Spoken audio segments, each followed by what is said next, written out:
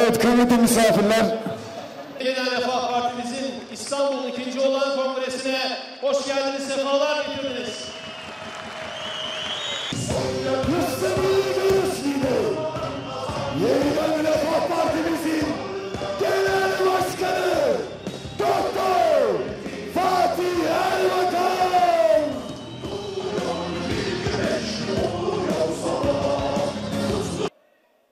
Çok değerli İstanbullular, çok değerli milli görüşçüler.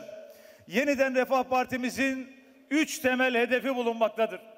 Her fırsatta ifade ettiğimiz gibi birincisi ülkemizin yaşanabilir bir Türkiye haline gelmesi. İkincisi yeniden büyük Türkiye ve lider ülke Türkiye hedefinin gerçekleştirilmesi. Üçüncüsü de Türkiye'nin öncülüğünde İslam Birliği'nin kurulması ve İslam Birliği'nin öncülüğünde de adil bir dünyanın, yeni bir dünyanın inşa edilmesi. Bu hedeflerimize kararlılıkla, azimle, milli görüş hareketi olarak 53 seneden beri bir gün dahi ara vermeden bütün gücümüzle yürümeye devam ediyoruz. Milli görüşün ortaya koymuş olduğu 53 seneden beri canla başla mücadele ettiğimiz, ulaşmak için gayret gösterdiğimiz bu üç hedef bakımından bugün Türkiye'nin içinde bulunduğu duruma baktığımızda ne görüyoruz? İçinde bulunduğumuz ülkemiz, Türkiye'miz yaşanabilir bir Türkiye midir? Yeniden büyük Türkiye olabilmiş midir?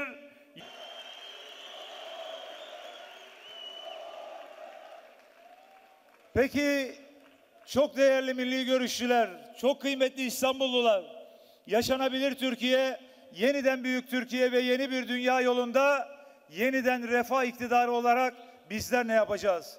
Bir defa yeniden refah iktidarında devlet bütçesi mutlaka denk bütçe olarak organize edilecek.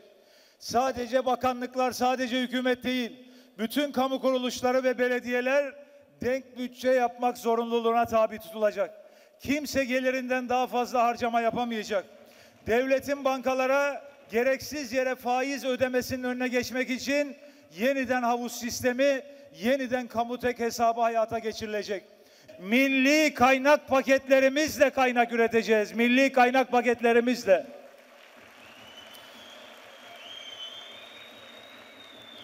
Bu kaynakla ne yapılacak? Dar gelirli milyonlara kaynak aktarılacak. Bu kaynakla ne yapacak? Milyonlarca işsizimize iş ve istihdam imkanı oluşturacağız. Ne dedik biz daha önce? Aziz milletimize milli görüş sözü veriyoruz. İktidara gelir gelmez yapacağımız ilk iş işçi, memur, emekli maaşlarına yüzde yüz maaş zammı yaparak işe başlamak olacak.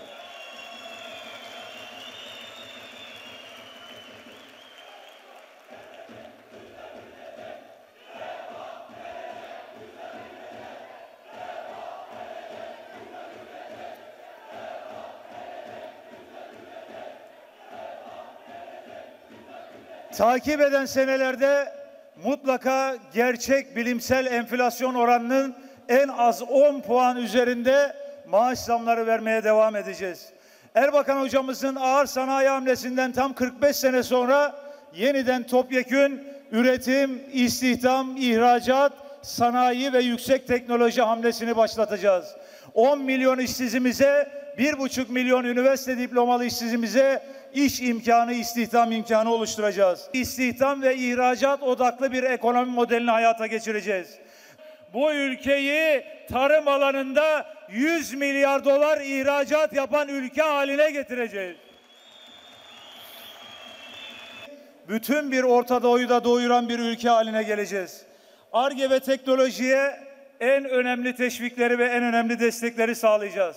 Özellikle yazılım, kodlama, nanoteknoloji alanında, sağlık teknolojileri alanında, enerji üretim teknolojileri ve savunma sanayi alanında ARGE'ye ve inovasyona en büyük teşviği vereceğiz, en büyük yatırımı yapacağız. Kamuda ve işe alımlarda, görevlendirmelerde sadece ve sadece üç tane kriter geçerli olacak. Ehliyet, liyakat ve adalet. Bundan böyle milli görüş geldiği zaman, yeniden refah geldiği zaman ehliyet ve liyakat esasına bakılmadan akrabalıkla, yandaşlıkla, hemşerilikle hiç kimse hiçbir makama mevkiye gelmeyecek. Dayısı olan değil, hakkı olan hizmet makamına gelecek. Hakkı olan. Devletin millet için var olduğu prensibinden hareket ederek gardiyan devlet yerine milletinin hizmetkarı garson devlet anlayışına hakim kılacağız. Bunlarla birlikte yeni bir dünyanın kurulması en başında da söylediğim gibi milli görüşün yeniden Refah Partimizin en önemli hedeflerindendir. Çimen, Kamil Aslan, Mahir Karal, Mehmet Yağan, Muhammed Kerem Teker.